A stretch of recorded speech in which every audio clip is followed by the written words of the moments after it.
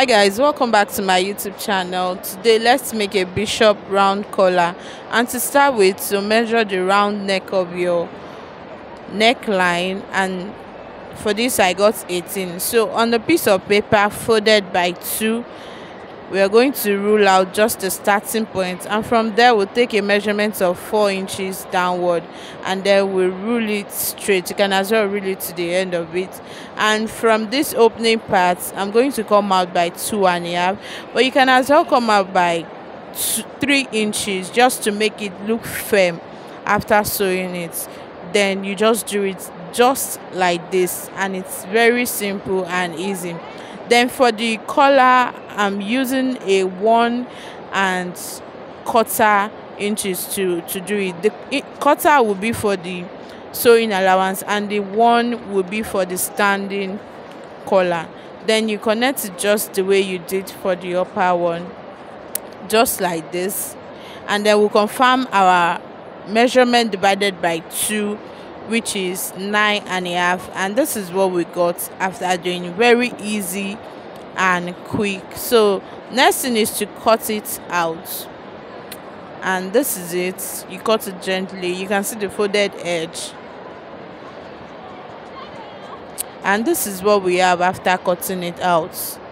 So now and mind you i'm cutting on an interface the thick art stay.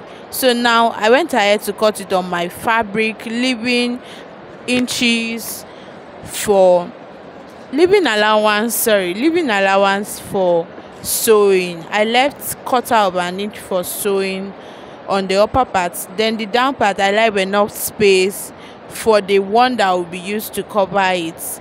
And i didn't sew up to the edge. I sewed to this point. I just placed my hand.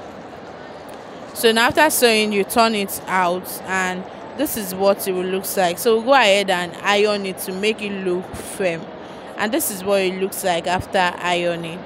So now the next thing is to connect it to our neckline which is like this. For this i'm using a two pattern. That is why it is like this. Then you sew it down after sewing it down this is what it will looks like. Then we'll go ahead to use the lace to cover it outside. So i'm just going to trim out the excess and leaving about quarter of an inch to sew it inward to make it look neat.